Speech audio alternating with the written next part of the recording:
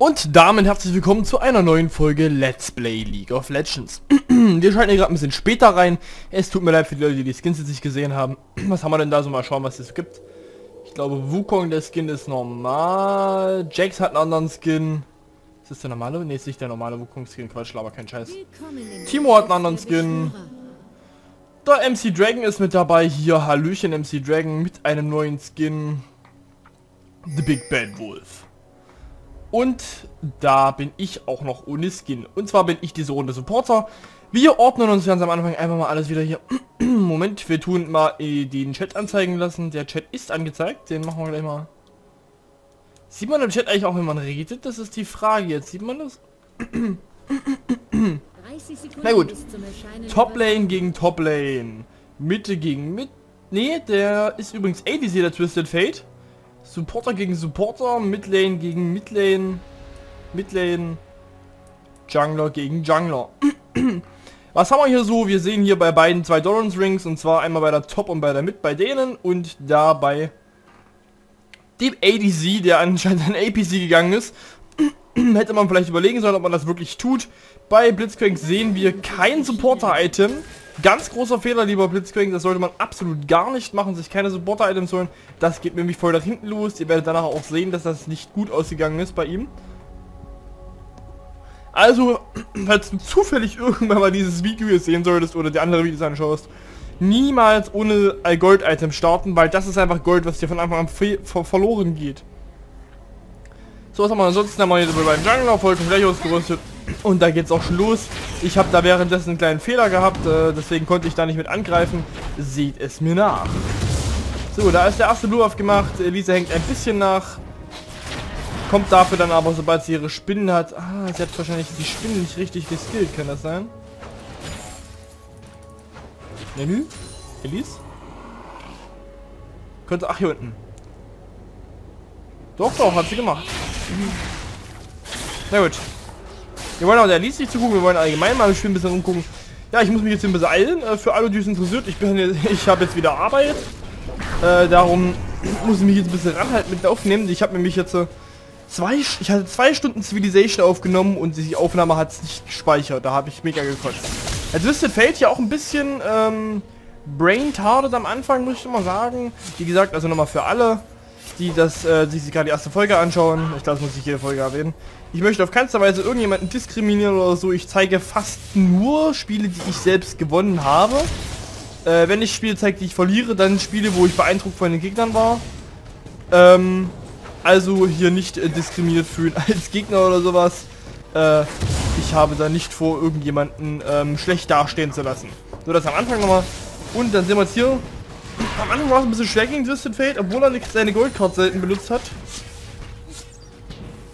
Ja, Timo dominiert hier auf jeden Fall hart. Hat auch gewardet. Wir haben unten gerade nicht gewardet. Hat das einen Grund? Nee, hat keinen Grund. Mein Ward ist auf Abklingen.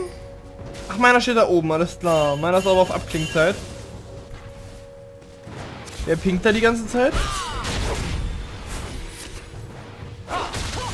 Pinkt gar keiner.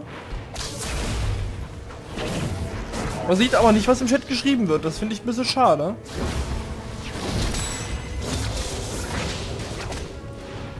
Alle violette Teamanzeige, Chat.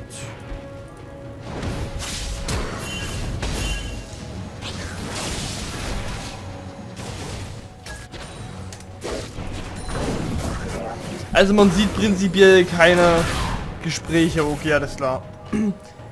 Das ist aber nicht so schlimm. Man kann hier oben dann nochmal verfolgen, was gekauft wurde. Belkos dominiert auch gut. Ist übrigens das erste Mal, dass ich Kale als Supporter gespielt habe in dem Spiel. Ähm, ja, da hat Blitzkrieg mich jetzt, glaube ich, gecrappt. Nee, Flo hat er gecrappt. Okay, gut. Hier lief es aber gut für uns aus. Hier, wir werden jetzt am Anfang die Laning-Phase nicht ganz so hart dominieren werden dafür dann aber im Late Game und mit, mit und Late Game zurückkommen, das werdet ihr dann sehen. Aber das möchte ja nicht zu viel verraten. Uh, da wird gleich was gegankt. Da kommt der nächste dann und geflasht. Elise kommt. Sehr gut. Netter Gang vom Jax hat aber nicht viel gebracht. Momentan 400 vor. Elisa vermasselt da gerade ihr Spinnennetz ein wenig. Welkos Stufe 5. Gucke mal, wie die anderen Level sind. Ja, ausgeglichen noch. Ich bin Level 3, ich hänge ein bisschen nach mit Blitzgang zusammen. Timo hat bald Pilze, da wird er eklig. So, ich trinke nebenbei noch mal ein bisschen was.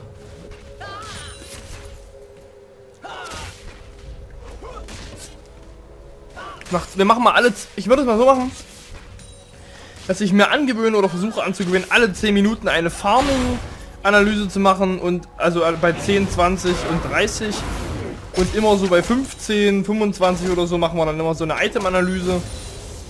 Da kann ich natürlich jetzt nicht persönlich sagen, ähm, ob ich das, äh, ob, ob ich das genau so gemacht hätte oder so. Ich kenne ja nicht von jedem Champion die Items, so gut bin ich noch nicht.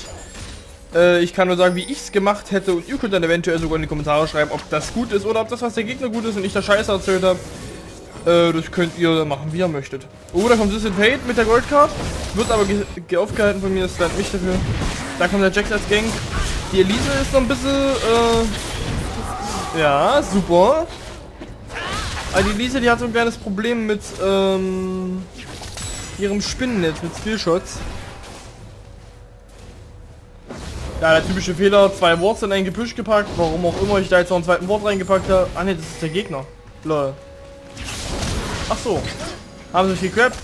Da haut er mich noch hoch. Ja, nicht. Dann hat er mich nicht hochgehauen, okay. Oh, da bekommt Timo Probleme. Wukong Ulti sinnlos gezündet. Ah, nicht schlecht. Wir liegen 1,6k vorne, das ist schon mal ganz gut. Ein Kill haben wir mehr. Sieben Minuten sind um.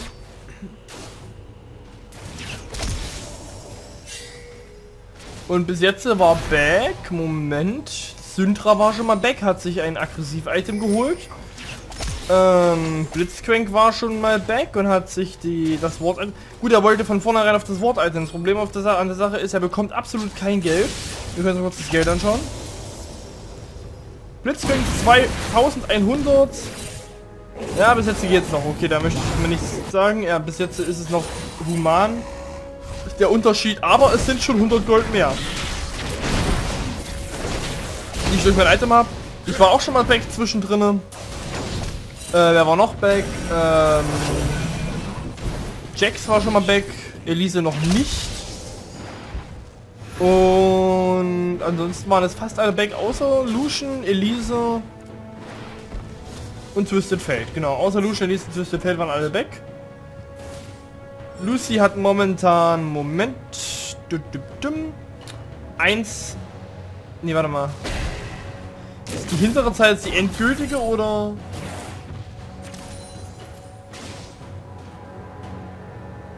Ich bin mir gar nicht so sicher, was die richtige ist. Aber ich nehme stark an die hintere, ja genau. Also hat 2-1, er sollte jetzt langsam weggehen eigentlich. Oh, da wurde gecrappt und stirbt. Wäre er weggegangen, wäre das vielleicht nicht passiert. Wusste ich in dem Moment gar nicht, dass er so viel Geld schon hat. Na gut. Und das kauft er sich noch gar nichts. Okay. Was läuft da? Das ist mindestens 30 Sekunden in der Base, hat noch nichts gekauft. Na gut.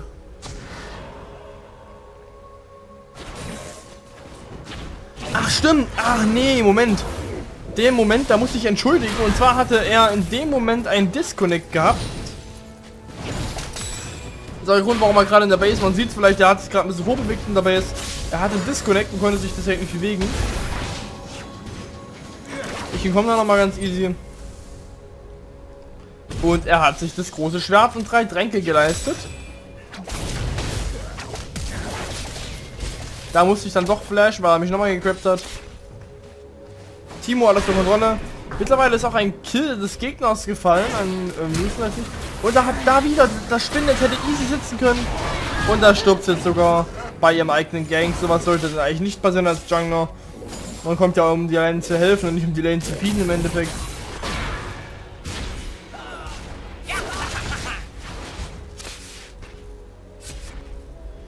Timo, man sieht es oben, baut sich das eine übelste Pilzbarrikade auf. Da kommt auch nachher noch mal eine lustige Stelle. Da hat es kurz überlebt. Äh, unser Jungler hat kurz das Spiel verlassen, wird aber auch gleich zurückkommen. Das wird nicht lange dauern. Da hat es einen DC gehabt. Genau denselben, den der, ähm, genau. Genau denselben, den der MC Dragon gerade eben hatte. Der hat es auch, auch kurz rausgehauen. Der hat irgendwie zwei Leute gleichzeitig im Deckscreen. Und da kommt er runter. Gedodged. Sehr gut. Ich in dem Moment nicht da gewesen, komme aber. Da ist Jax, kommt natürlich rum. Der Flash war ein bisschen fail, aber Jax Flash auch noch. Vier Leute. Und da kommt der Velkos, kann aber nicht ausrichten gegen vier. Ist gut, dass man den Chat nicht sieht, an der Stelle war es ein bisschen mies im Chat, da ist da MC Dragon ein bisschen abgegangen. Äh, unberechtigterweise finde ich, aber sowas kann passieren, wenn man mal im Rage ist. Da kommt Elise wieder zurück, Level 6 ist leider nur noch. Muss jetzt langsam ein bisschen aufholen. Und wir haben Minute 11, wir schauen uns mal den Farm an. Normalerweise meine, äh, mein Ziel, was ich versuche jedes Spiel zu erreichen, ist 80 Farm nach 10 Minuten jeweils. Äh, da sind wir jetzt, äh, also machen wir mal, machen wir mal 60 draus. Wir hatten 60, wir hatten jetzt 60, 70 Farm. Also Timo ist ziemlich gut dabei. Im Gegnerteam ist es wirklich gar keiner gut dabei, muss man sagen. Da liegen alle weit unter dem, was man eigentlich hätte farmen müssen. Vor allen Dingen dann nur vier Kills gefallen sind in 11 Minuten. Das ist für Bronze schon ziemlich äh, gut. War ich echt gut erfreut über das Spiel. Ähm, bei uns ist es eigentlich auch nur Timo und ähm,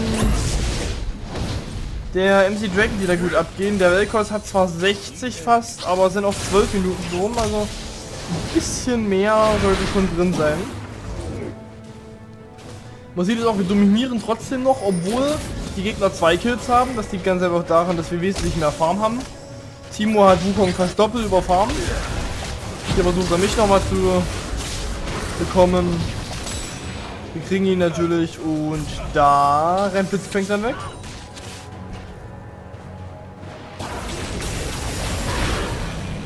Und da ist wieder der Stun von Syndra. Würde das ein bisschen früher kommen, würdest du sogar wesentlich mehr von der Ulti durchgehen können. Was macht, was macht, was macht Dings da? Auf der Mitte geht's doch gleich ab, oder? Wir werden noch gleich wieder zur Mitte switchen. Ja, oder doch nicht?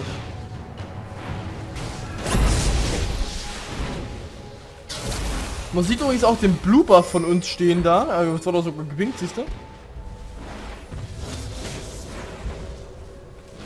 Und es sind jetzt mittlerweile 13 Minuten rum. Langsam sollte der erste... Oh, kriegt man den, kriegt man den, kriegt man den? Ah, ne. Langsam sollte man den ersten Dragon angehen. Also ich würde zumindest, wenn ich Jungler wäre, würde ich jetzt den ersten Dragon angehen. Für höhere Elos wäre das wahrscheinlich auch schon zu spät. Da macht man den Drake meistens mit Minute 9 oder so schon weg. Ähm, bei mir ist es so Level 8, 9, wenn ich jungeln gehe, dann mache ich den Dragon meistens alleine, weil ich äh, leider in Bronze selten darauf hoffen kann, wenn ich solo queue, dass mir da einer hilft.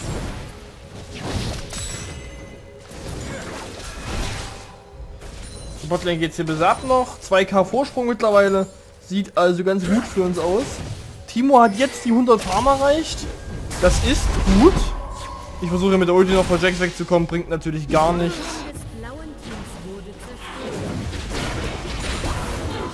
Ja, Jax war auch gut gefeedet am Ende. Und da gewinnt Velkos. Gerade so. Twisted Fate hätte richtig gejumpt, hätte sich jetzt den Velkos schnappen können und nicht den ähm, Lucian. Aber muss er wissen.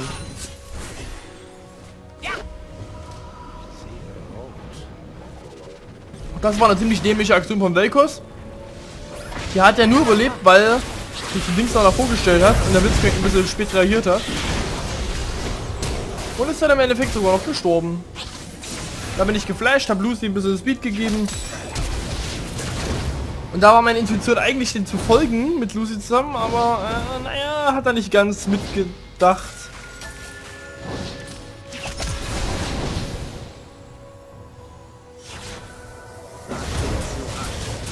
Da kann man noch mal rüber.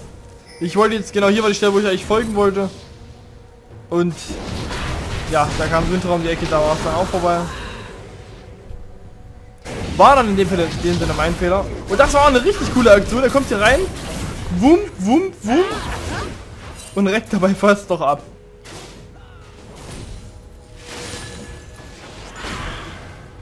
Weil da sinnlos gewasteter Jump.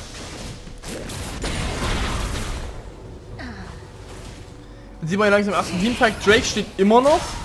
Geworden wurde der eine Busch. Jax macht Bluber. Wie sieht es denn goldmäßig gerade aus? Mal schauen, wie es goldmäßig aussieht. Am meisten hat bei uns der Timo und der Lucy, so sollte es auch ungefähr sein. Velkos hat auch ganz gut. Und ich habe 2,8. Wie viel hat denn der Blitzkrieg? Der Blitzkrieg hat jetzt nur noch 2,55. Das sind schon 250 Unterschied und das nach 15 Minuten. Ähm, das ist auf jeden Fall einiges. Was haben wir hier noch so? Äh, das Gegnerteam hat der beste 2, äh, 3, 7. Das ist 1,5k weniger als wir haben. 1,3k, aber wir waren eine ganze Ecke weniger und da gibt es nur noch schlecht. Ah, nee, Quatsch. Jax hat 4, Jax hat 4, 2, okay. Ist trotzdem 800 weniger und ansonsten ist das Team ziemlich schlecht drauf. Ja, hier kommt jetzt der Crap von Blitzcrank, total überbewertet, aber okay. Wir haben es in dem Sinne dann nicht mehr geschafft, leider. Also ich habe es nicht mehr geschafft, Duschen hat es dann noch geschafft. Flash von ihm und da hat Blitz hier dann keine Chance mehr. Nice gedodged nochmal. Und Elise pusht währenddessen Mitte, auch nicht schlecht. Und man guckt, man guckt jetzt mal bitte oben auf die Top-Lane, sich die ganzen Pilze da oben an. Dann scrollen wir mal kurz hoch, was hier so ist.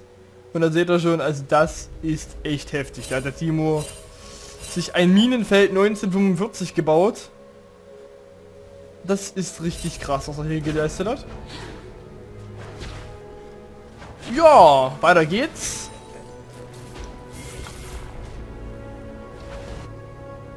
Oh lecker, ich laufe ich laufe gerade so Blaubeer Rockstar. Da hat Blitzkrieg nicht überlebt. Schade, dass der Jackson noch nicht gestorben ist. Das war eine knappe Sache.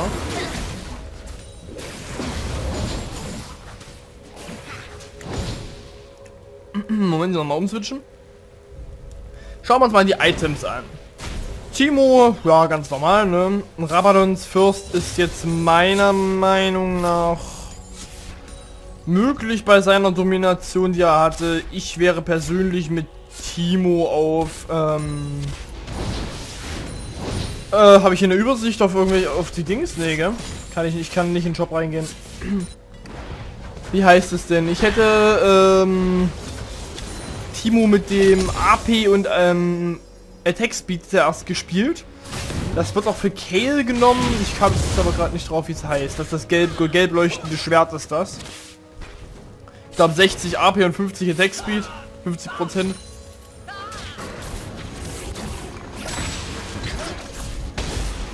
Wüsste ich nicht, wie es heißt.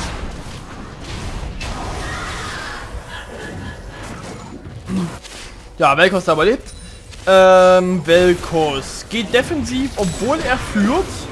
Auch eine Frage, muss man das machen? Kann man das machen? Wenn er es so möchte, okay, habe ich jetzt kein Problem damit.